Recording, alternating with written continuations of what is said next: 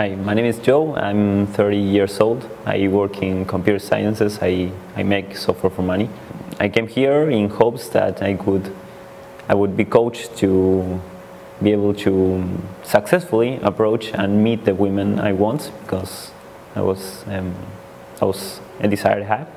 So what I I would recommend this to other people because the coaches uh, really take their time and get out of the way to help you and push you over to the limits you already know you have and that you know you want to overcome. They're, they're really all good and, and hardworking people who will help you. Thanks for watching our video. I hope you liked it. And make sure you guys subscribe to this channel and watch all our other videos. Great news too. Every Monday, we'll be putting out a new weekly video. That's right, we've got educational seminars, street interviews, uh, fun infield pickup videos, and anything else we can come up with that's fun for you guys to watch. So check back.